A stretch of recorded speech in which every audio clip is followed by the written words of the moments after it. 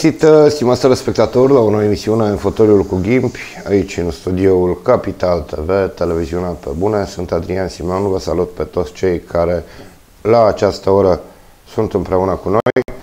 Invitatul uh, din studio de astăzi este domnul uh, Viorel Sălan, deputat PSD de Hunedoara, Bună ziua, domnule Salan, bun venit în studioul Capital TV. Bine v-am găsit, doresc să vă adresez și eu, atât dumneavoastră, cât și tuturor privitorilor noștri. Un salut uh, hunedorenilor. Uh, domnule Salan, uh, cu un an în urmă, dar de fapt cu câteva luni, erați senator, acum sunteți în Camera Deputaților. Cum e trecerea asta de la Senat la Camera Deputaților? Uh, vreau să vă spun, așa cum uh, am mai spus-o uh, și altor colegi de-ai dumneavoastră, așa că nu sunt diferențe între cele două camere, poate numai din punct de vedere al legiferării, așa, camera care este decizională. Însă activitățile în sine sunt aceleași, atât în comisiile permanente, așa, aspecte legate de uh, Uh, plenul uh, Camerei Deputaților uh, sau aspectele care se discută în comun la nivelul celor două camere? Bun. Anul 2021 a început. Am mai discutat și cu alți colegi de dumneavoastră care nu erau foarte optimiști în ceea ce privește felul în care vor merge lucrurile anul acesta. Uh, cel puțin uh, din punct de vedere politic sau din punct de vedere al guvernării. Uh, învățământul românesc, că e unul dintre temele, dintre subiectele fierbinți, aș putea spune, trece prin o criză gravă, da? Poate prin cea mai gravă criză din ultimii 30 de ani. Copiii încă nu se știe dacă încep din februarie Uh, școala în bănci sau tot în fața calculatorului sau a tabletei. Uh, o mulțime de uh, copii nu au mijloace tehnice pentru a desfășura acest învățământ online. Mai mult decât atât, acestor efecte ale pandemiei de COVID, li s-au adăugat și măsuri, spun colegii dumneavoastră și spun și alții, ineficiente ale actualei guvernări. Uh, mai recent am văzut, din punctul dumneavoastră de vedere, politizarea numirilor în funcțiile de conducere. Uh, în anumite cazuri tind și eu să cred că este adevărat. Ce ne puteți spune despre lucrul acesta? Uh, vreau să vă spun că, într-adevăr, este o certitudine ce spuneți dumneavoastră cu politizarea. Dar uh, vreau să spun că învățământul românesc uh, se află într-o situație cel puțin la fel de gravă precum și sănătatea.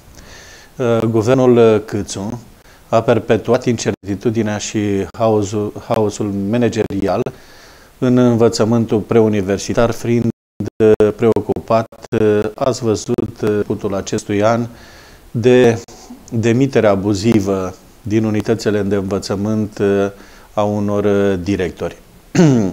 și cum de altfel s-a uh, întâmplat și în județul nostru, unde au fost schimbați circa 40 de directori de școli. Uh, și, Acum, mă scuzați că vă întrerup, știu cum la de profesie și nu vă plac întrerupele, dar nu știu dacă a fost chiar o demitere. A fost uh, schimbarea lor. A, și cei care au venit au fost detașați, nu? Au fost detașați cei care au venit. Da, li se terminau contracte manageriale la începutul acestui an, dar cel puțin uh, uh, trebuie desfășoare cu multă transparență și corectitudine. Ori cei care uh, erau puși în locul lor trebuia să îndeplinească condițiile care erau cerute de Corpul Național al Experților Management, să aibă această calitate și totodată să fie obținut calificativele maxime în ultimii patru ani de învățământ. Ori am văzut-o, cum au fost uh, detașați uh, pe funcții manageriale la Liceul Tehnologic din Hunedoara, la școala la gimnazială. nu vă referiți? Da, cea de la Hunedoara, precum și cea de la Brad, școala gimnazială Hora Cloșcaș Șcrișan, colegiul sau liceul teoretic Aurel Vlaicu de la Orăștie sau Colegiul Tehnic Constantin Bursan de la Petrila. Și ele continuă.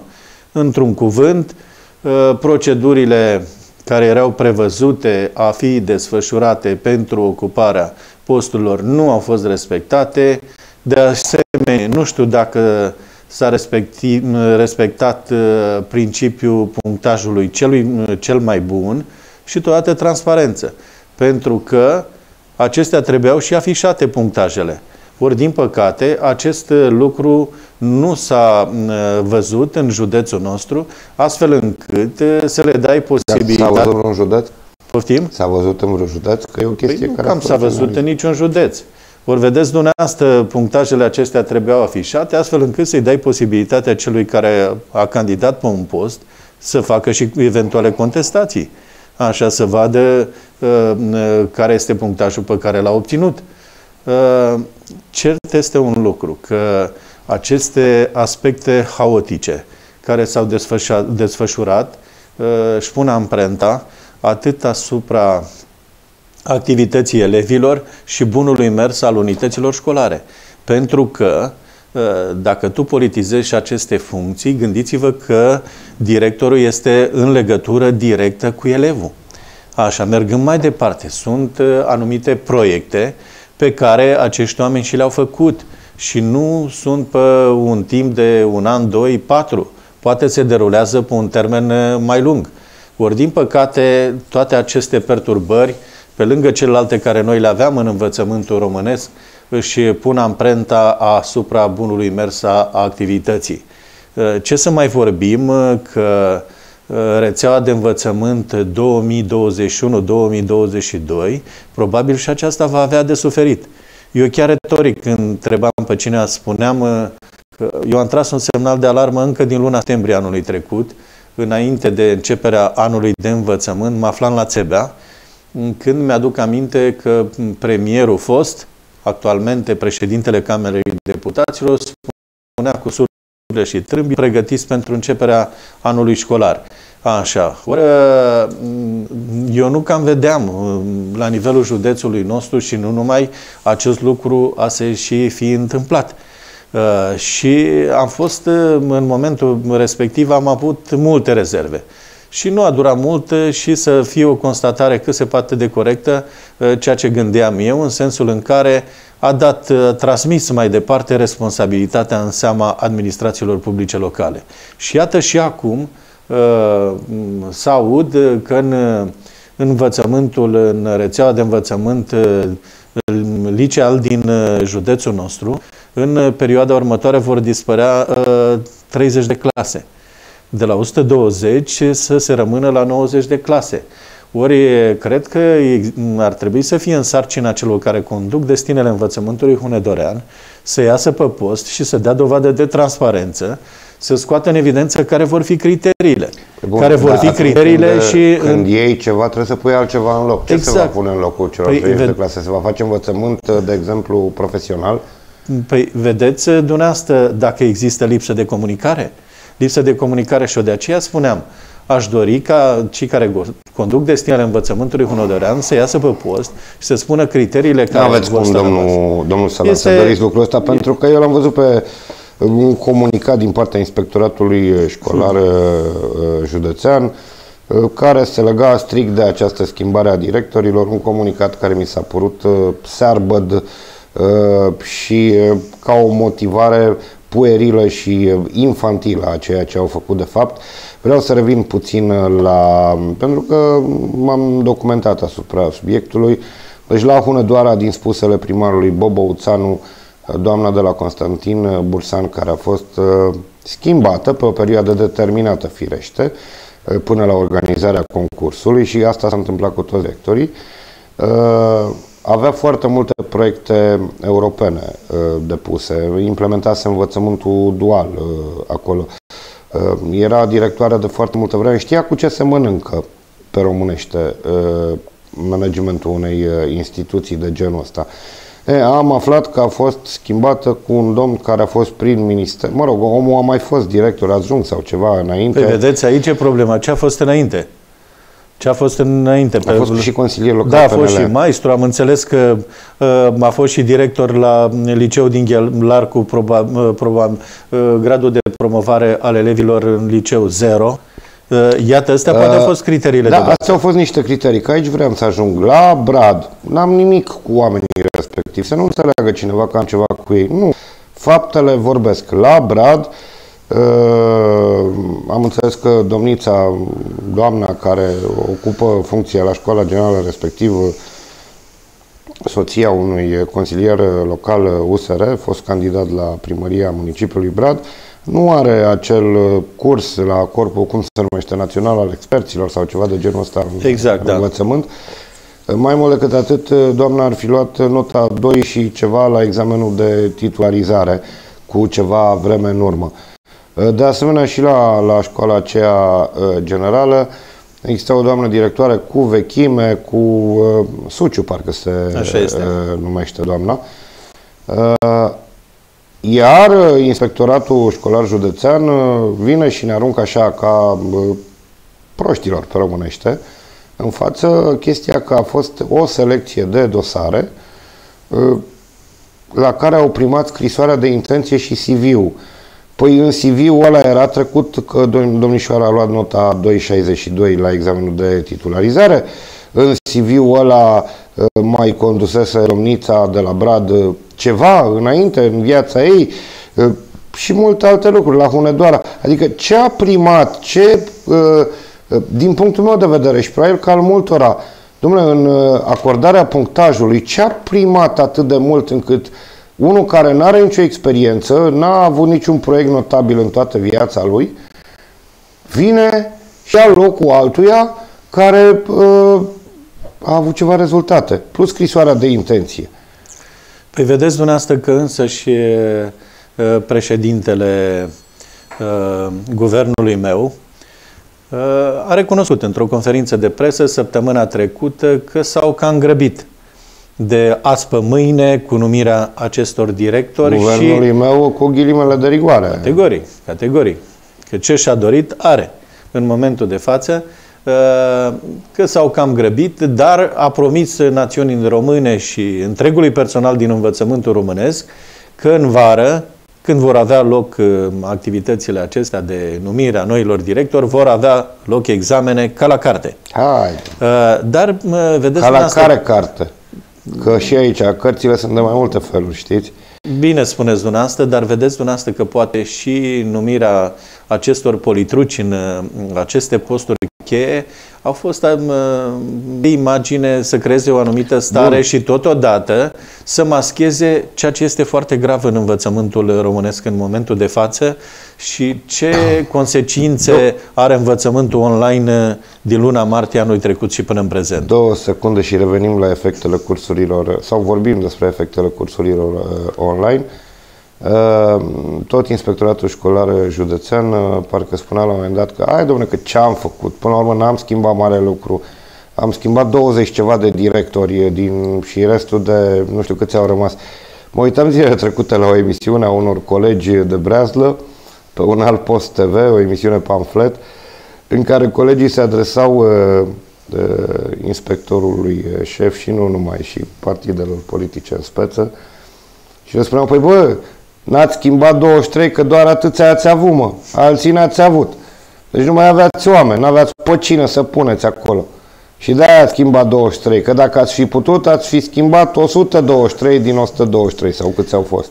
Vedeți, dumneavoastră, ei au fost concentrați de întreaga putere și pur și simplu să politizeze totul. Ceea ce Partidul Social Democrat nu a făcut, inclusiv la nivelul județului nostru, nu s-au întâmplat asemenea lucruri și vreau să vă spun că îl cunosc foarte bine pe președintele Partidului Social Democrat la nivelul județului Hunedoara și a fost preocupat permanent de competență și de bunul mers al lucrurilor în toate sectoarele de activitate. Aduceți-vă aminte cât am fost la guvernare că domnia sa a acordat sprijinul necesar tuturor reprezentanților comunităților, indiferent de coloratura politică.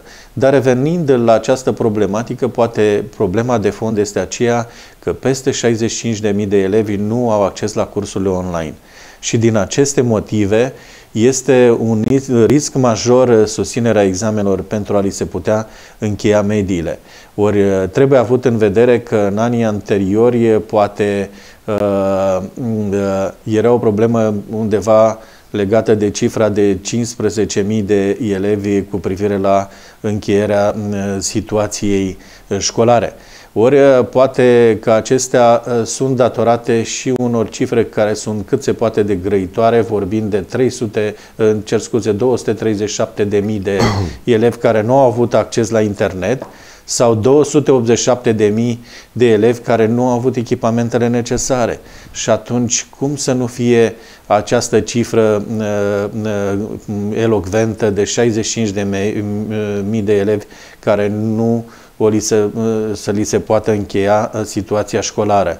Uh, ori poate că mai mult ca oricând uh, sunt în momentul de față peste trei sferturi dintre dascăli și părinții care cer cu insistență deschiderea școlilor și copiii să se poată întoarce la școală. Am aflat că duminică, în, la finele săptămânii trecute, Ministrul Educației a transmis către inspectoratele școlare o notă în care solicita înscrierea cu prioritate a personalului tuturor angajaților din învățământul uh, preșcolar și celor din unitățile din învățământul preuniversitar uh, pentru examenul acesta uh, COVID. Dar nu au stabilit la nivel național o modalitate prin care ei se poată înscrie astfel încât uh, poate o să ajungem și la altă temă, cea legată de sănătate. Uh, dascălii sunt foarte nemulțumiți că n-au putut să se programeze pe platformele acestea în perioada aceasta, astfel încât uh, copiii să poată să-și reia cât mai repede școala. În contextul în care am văzut și reducerea uh, vaccinului care este în ultima perioadă dozele care ne vin uh, de la instituțiile abilitate. Uh, în contextul în care și în conferința de presă susținută de președintele României săptămâna trecută a anunțat redeschiderea școlilor în data de 8 februarie, dar după ce va mai, va mai avea loc o analiză preliminară în data de 2 uh, uh, februarie și să se revină la sistemul care a fost anterior uh, în scenariile verde, galben, roșu, care este cunoscut de toți. Dar eu cred că tot ceea ce se întâmplă în momentul de față, spuneam și modul haotic cu programarea personalului din învățământul preșcolar și cel preuniversitar, Uh, va duce la concluzia, când se va trage linie în 2 februarie, personalul nu a putut să fie vaccinat și ca atare nu redeschide școlile. E, credeți? Uh, să știți că nu mai e nimic uh, imposibil la actual, la coaliție de da, guvernare. Se pare că asta e soluția cea mai practică de ieșire din pandemie, cel puțin așa ni se prezintă. Așa se face publicitatea. Domnule, trebuie să vă vaccinați, avem etapa 1, avem uh, etapa 2, vaccinarea masivă a populației, începând cu tot felul de oameni care muncesc în diferite domenii. Cum? Ce vorba aici? Este regretabil și cu permisiunea da, dumneavoastră. Da, înainte de asta, înainte da. de a-mi răspunde, în timp ce vorbeați, n-am vrut să vă întrerup. Vis-a-vis de situația învățământului, și pe urmă revenim la asta cu vaccinarea, vis-a-vis de situația învățământului, ați fost uh, să vorbiți cu inspectorul șef, că sunteți deputat. Ehm, să știți că eu tot le-am uh, adunat uh, toate problemele, uh, toate problemele care au fost în perioada aceasta și categoric așa urmează să-i fac o adresă și către inspectorului școlar. Sigur, mergeți la el, și... beți o cafea împreună și dai, domne, să uite, eu sunt deputatul în, context, în contextul în care învățământul hunedorean a fost bine cotat la nivel național. Am fost poate în primele județe la nivel național și în ce privește uh, gradul de promovare al uh, examenului de bacalaureat, uh, și examenul în general. Uitați-vă câți elevi am avut olimpici în județul nostru. Și ar fi regretabil pentru că ei sunt viitorul nostru. Și de noi contează foarte mult. Nu că am trecut prin, în cariera mea militară prin foarte multe funcții, dar vreau să vă spun că pe partea de selecție am pus o, bar, o bază deosebită.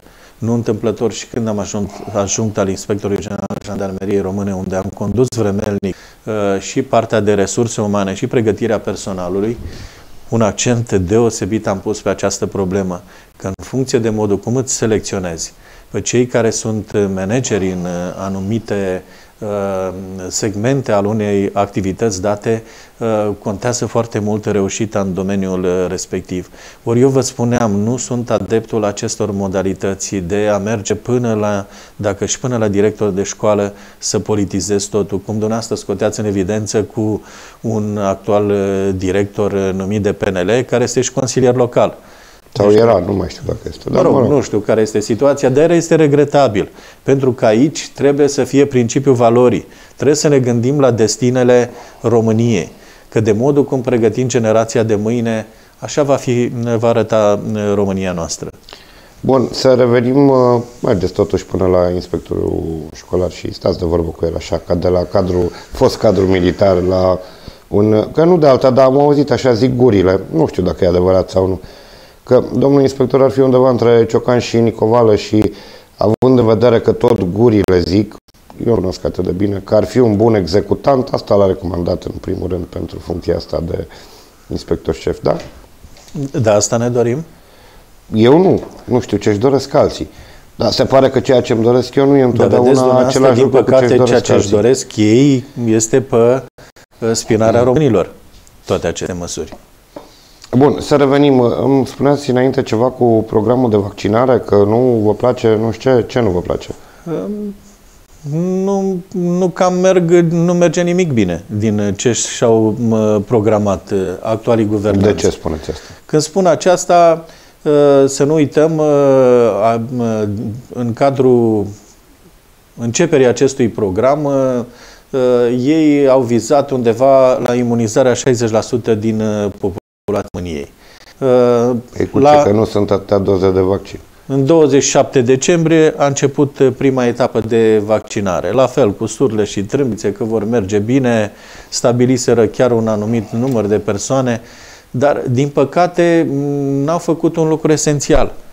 Atât uh, modul de procedurare a activităților în cadrul campaniei de vaccinare, de la uh, sosirea în țară a vaccinului și până în momentul în care el este Uh, așa uh, făcut în, în locurile respective, vedeți, dumneavoastră, aceasta trebuia să meargă mână în mână cu, virgulă, campania de informare a populației.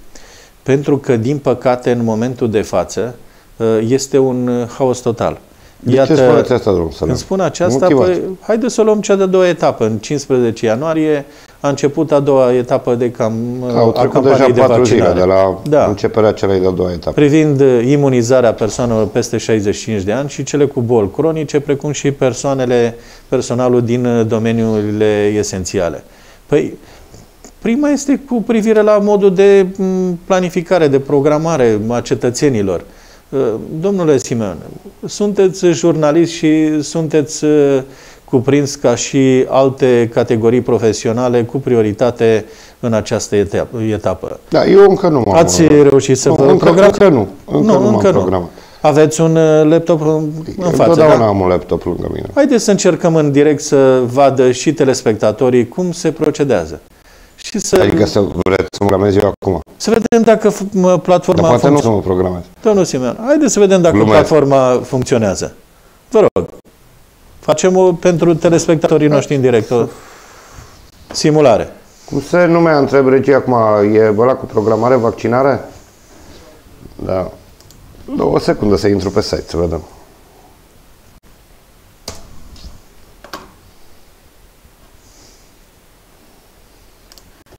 Da, uite. Deci pe vaccinare covid.gov.ro programează-te Sper să și meargă. Deci nu, nu m-am programat încă.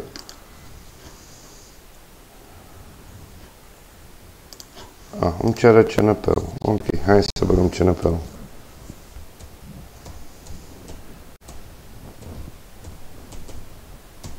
Îmi pare rău că nu se poate vedea, dar o să... Pasul următor... Aoleu, 13 pași sunt. Deci nici nu-ți mulți.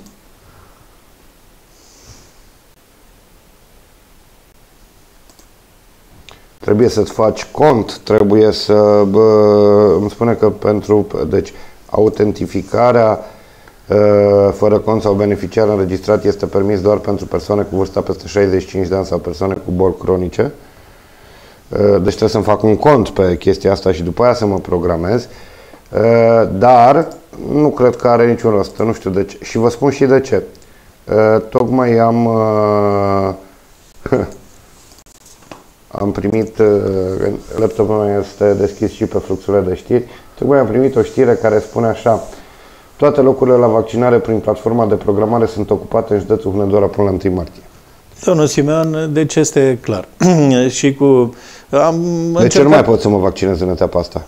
Cu toate că faceți parte din personalul din Hai, unele... Doamne. Cum? Eu, uite, vreau să mă vaccinez. Unele domenii esențiale. Pot? Unele da. domenii esențiale. Dar vedeți dumneavoastră că lansarea acestei... Da, așa de mulți uh, oameni sunt în județul Hunedoara uh, care lucrează în domenii esențiale încât s-au ocupat în etapa a doua? De, depinde și de dozele care au fost uh, programate pentru județul nostru, vedeți dumneavoastră.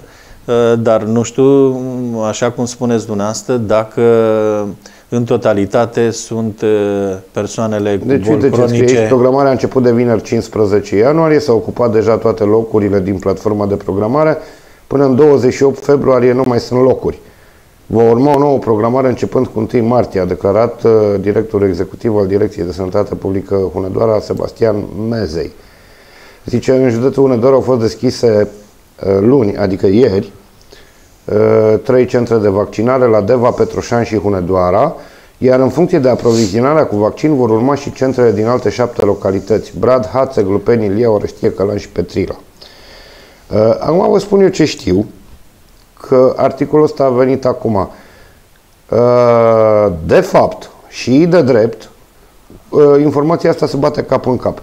Că au fost deschise luni trei centre de vaccinare Deva, Petroșan și Hunedoara. În funcție de aprovizionarea cu vaccin urmează centrele din Brad, Hațeg, Lupeni, Ilie, Orăștie, Călan și Petrila. Deci, la Hațeg există un centru și la celelalte localități, dar care nu aveau vaccinieri. Stau și mă întreb, acum merg mai departe, doc medicii de acolo, asistentele și așa mai departe, personalul ăla ai plătit cu ora. Dacă ieri n-au avut vaccin, cum au fost plătiți? Sau pentru ce au fost plătiți? Zic și eu, nu că aș avea ceva cu oamenii. Domnul Simeon. Unul la mână.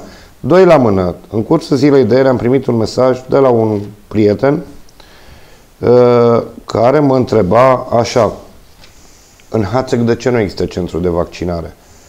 Uh, ci că există, dar nu au vaccin. Și răspund, există la sala de sport, uh, la care același prieten spune, pe mama au trimis-o din Hațeg la Hunedoara.